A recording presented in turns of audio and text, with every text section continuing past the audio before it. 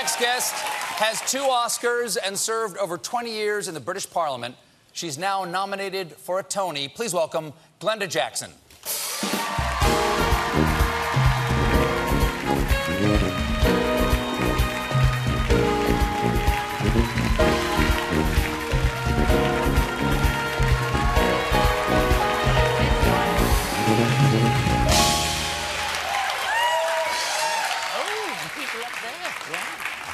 Well, welcome to the Ed Sullivan Theater. Well, they told me about the dome. Isn't it amazing? Yeah, yeah. Wow. And We get to change it every day. It's all digital projection. Oh no. Yeah, it was it was covered over for, for many many years from, from like the 1970s until just recently. It was a beautiful 1927 theater. And so someone was telling me. Yeah.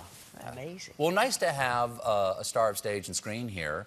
Um, you, as I said before, you've got uh, you have two Oscars. You have a long and storied acting career, but it wasn't as long as some people would have wanted because in 1992 you stood for a member of parliament and you were elected and, and served for 23 years. Why did you want to go from acting or from show business into politics? Because my country is being destroyed by Margaret Thatcher. I'm a supporter of, a member of the Labour Party. Oh, yes! Ah, Not a fan. Um, well, Not a fan of Margaret Thatcher. everything, anything I could have done that was legal to get her out of office and her government, I was prepared to have a go at. I had been working more publicly for the Labour Party from about the mid 70s. I was never quite sure whether I became a face you could put a name to or a name you could put a face to. But I was sent out and campaigned in the elections from 79 in marginal seats, none of which we won. But anyway, um, I think the clincher for me was when she said there was no such thing as a society. And even though I'd seen my country being destroyed, everything I'd been taught as a child to regard as vices, she told me were virtues. Greed wasn't greed, it was a of independence. Selfishness wasn't selfishness, it was taking care of yourself and your family. And, you know, a friend of mine, an artist, came back from the centre of London one day and he said to me, London is now a city that Hogarth would recognise. And he would have recognised it because every single shop doorway, not only in London but across the whole of the country, at night was the bedroom, bathroom, living room of some poor homeless person, not unusually also suffering from mental illness because she had closed all the long stay mental homes for something called care in the community. They were in the community, there was marked lack of care. So anything I could have done, I was prepared to do. I didn't expect to win. I didn't even expect to be selected in the first instance, because, you know, that's a decision for the individual constituency party. I'm very proud of the fact that the four of us who were the final runners were all women, even before we as a Labour Party insisted that in marginal seats, the, you know, the, there should be all women shortlists. Um, and we, I think, thought up until, well, I certainly thought up until the Monday when we actually went to the polls that we were going to form a government, but we didn't. But we did in 97. And as I said, you were there for 23 years.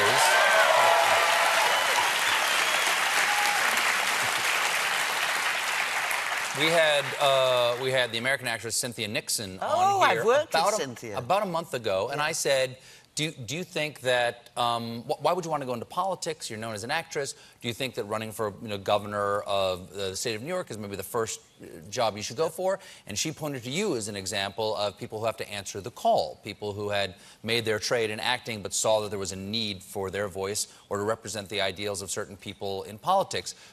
Do you miss it now? Well, I, I, I, I question what you just said, that our voices should be heard in politics in that sense, as though the theatre, people who work in the theatre, are separate entities, almost like extraterrestrials. We're not. Um, Well, I meant the people that she said the people that they they well, they the people you represent are certainly in that level, yes, because one of the most humbling things about being a member of parliament, and it is also a privilege, let's not get away from it, but one of the most humbling things was, for me, well, I think for all members of parliament, we hold what we call advice surgeries. And anyone in your constituency can come to that advice surgery whatever their problem is. And they're coming to you because you are the port of last resort. Everything else that they've done to try and improve what, in many instances, are absolutely unbelievable, dreadful lives, have failed. And you didn't always get the result that they wanted, but you always got a reply to your letter. You always got your telephone call returned. And without exception, whether you'd achieved what the individual constituency, constituent wanted or not. They said thank you. And that is a truly humbling experience, as is the realization that those people put an X next to your party. I mean, that is our most precious right, it seems to me, the right to vote. And for someone to actually put their trust in you. Yeah, absolutely.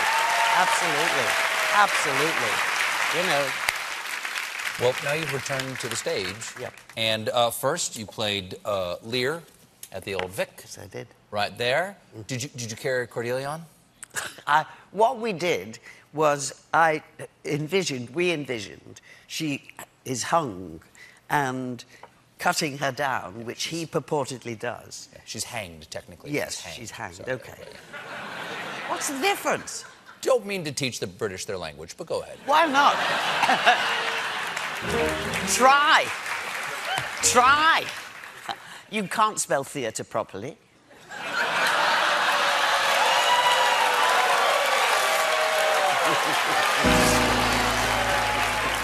Brava. Brava. Um, anyway, I, I'm, I'm holding Cordelia, and we're dragged on on a rug as Oh, though, got it. you know, Lear had cut her down and wouldn't let her go. So that's how we managed that. Well, now at the Golden Theater here in New York, you're doing Edward Albee, the great American dramatist's Three Tall Women. What is what is the story of Three Tall Women? It's the story of a woman, actually, presented in three different timescales. And it's based, he's very open about it, it's based in the main on his relationship with his adoptive mother. And that seems to have been a pretty tormented relationship. He was very open about that. He's written at the frontispiece of the copy of the play that we've worked on, I'm paraphrasing this, um, the last three sentences. And he says, I never during her lifetime met anyone who liked her. I've never met anyone who saw the play who disliked her. What have I done? Happy Mother's Day. Exactly. Exactly. Glenda, thank you so much for being here.